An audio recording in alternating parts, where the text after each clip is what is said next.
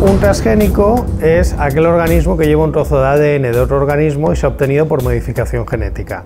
Por ejemplo, una persona que tenga una enfermedad genética. Hay una técnica que se llama terapia genética que consiste en ponerle el gen que eh, esa enfermedad genética ha mutado o que ocasiona esa enfermedad genética. Esto es una tecnología que ya se está aplicando y que ya se está haciendo.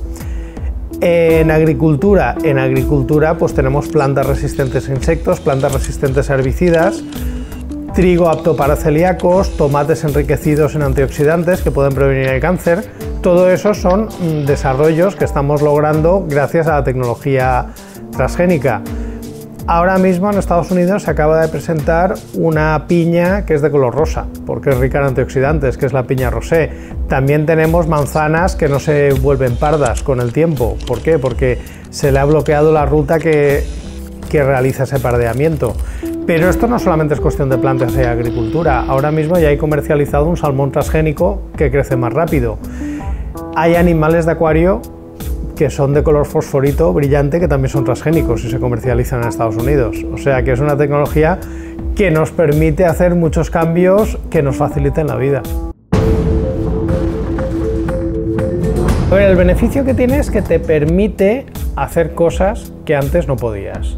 Entonces, no se puede hablar de un beneficio en general, sino que habría que ir caso por caso. En el MON 810, que es el maíz tolerante a taladro que se siembra en España, pues el beneficio es muy obvio. Los agricultores que optan por él se ahorran una pasta en insecticidas, más todo el trabajo que supone aplicar ese insecticida. ¿Qué pasa? Que ese maíz luego mm, no está picado por el taladro, con lo cual acumula menos micotoxinas.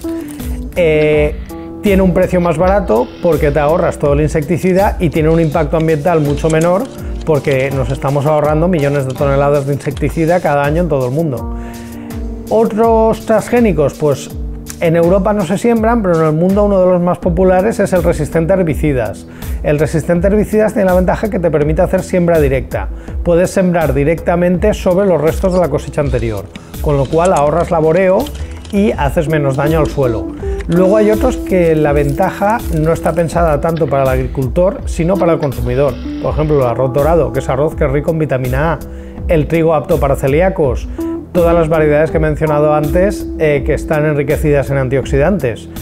Hasta ahora, uno de los motivos de la mala fama o de la mala imagen que tenían los transgénicos es que el consumidor no veía la ventaja porque los primeros que se desarrollaron estaban pensados para el agricultor.